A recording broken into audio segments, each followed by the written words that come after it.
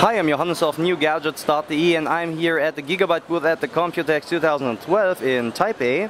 And over here we have a 10 inch, okay they say notebook, but for me it's a netbook. It's the Gigabyte Q2006 with an Intel Atom N2800 processor, up to 10 hours battery life.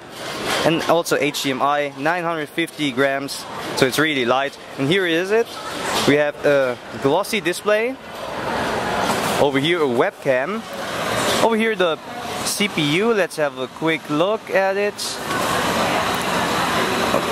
Okay, wait a second. 1.86 gigahertz, dual core.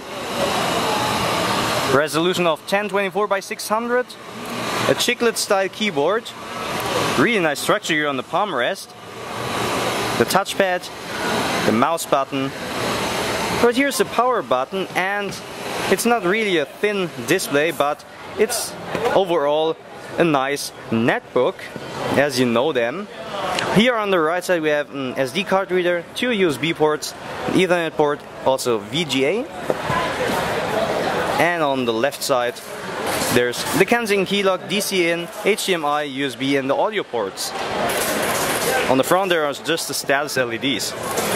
So just a standard netbook, because netbooks are really seldom right now.